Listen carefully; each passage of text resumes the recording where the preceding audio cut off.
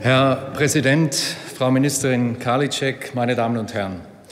Mit einer Delegation des Bildungsausschusses war ich diesen Sommer in den USA auf der GAIN-Jahrestagung German Academic International Network.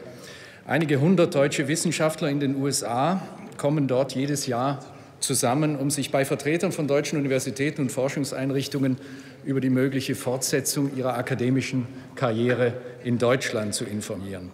Es ist beeindruckend, wie viele junge Talente aus allen wissenschaftlichen Gebieten sich dort auf engem Raum versammeln. Ja, Frau Ministerin, Deutschland hat die gut ausgebildeten Menschen, wie Sie sagten, aber immer mehr von ihnen verlassen Deutschland, weil sie hier nicht die richtigen Bedingungen vorfinden. Das haben Sie nicht gesagt, und das ist unser Problem.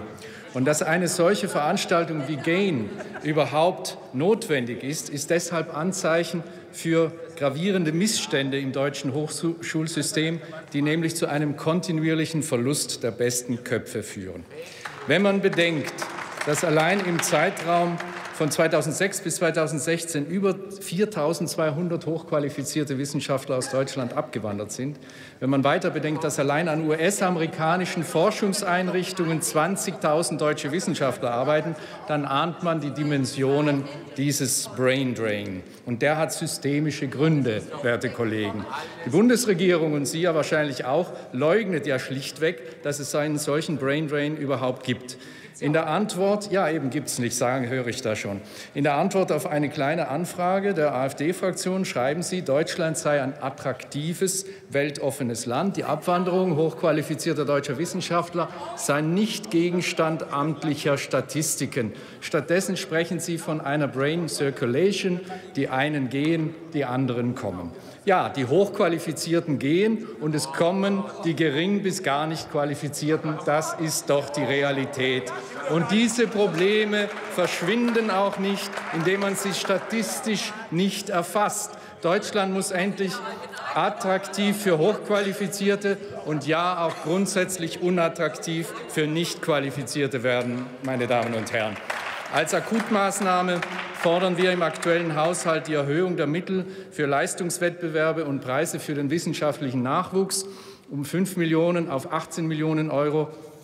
Und wir fordern 10 Millionen Euro mehr für den Sofia Kowalenskaya-Preis der Alexander von Humboldt-Stiftung, der es besonders begabten deutschen Wissenschaftlern ermöglicht, nach Deutschland zurückzukehren.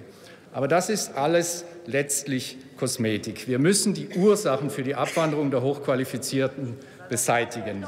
Die liegen neben dem materiellen Aspekt der Unterbezahlung vieler Wissenschaftler und der Unsicherheit ihrer Karrieren maßgeblich auch im atmosphärischen.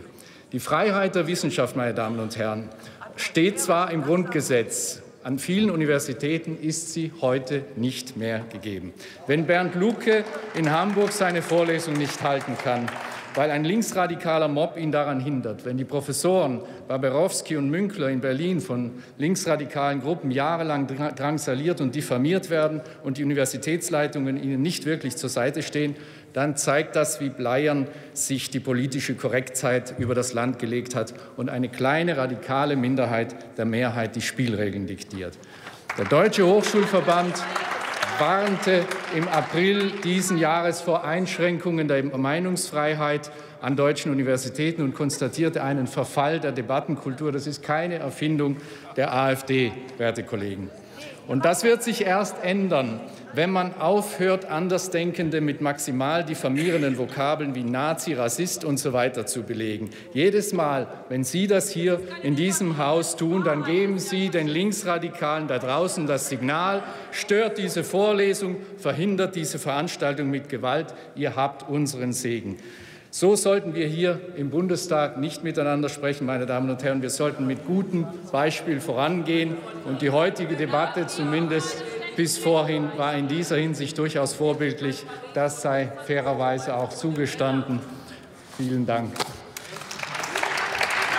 Der nächste Redner ist der Kollege René Röspel, SPD-Fraktion.